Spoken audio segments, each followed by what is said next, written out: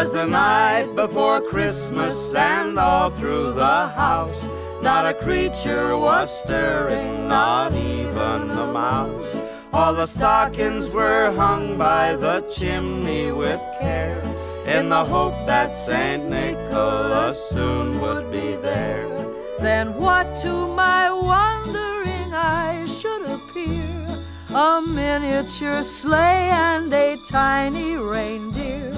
A little old driver so lively and quick.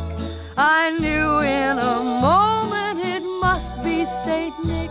And more rapid than eagles his reindeer all came as he shouted on Dasher and each reindeer's name.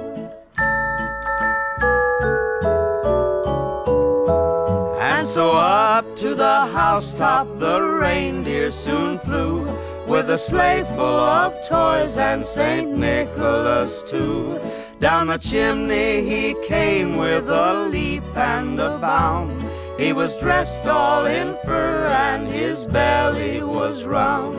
He spoke not a word but went straight to his work and filled all the stockings, then turned with a jerk and laying his finger aside of his nose, then giving a nod up the chimney he rose.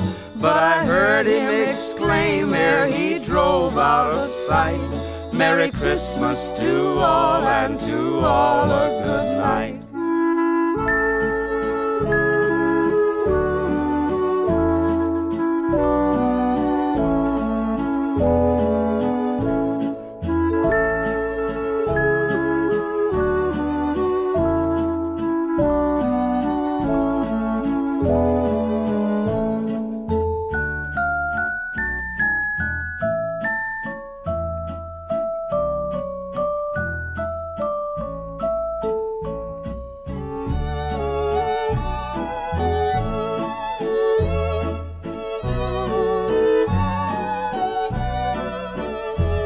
But I heard him exclaim ere he drove out of sight, Merry Christmas to all and to all.